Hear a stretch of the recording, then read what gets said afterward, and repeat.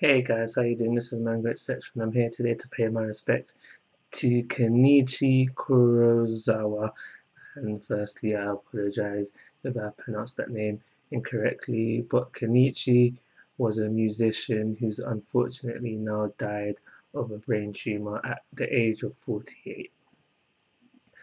The most notable work for Kenichi was that he provided the opening and closing theme song for the Hunter Hunter 2002 OVA.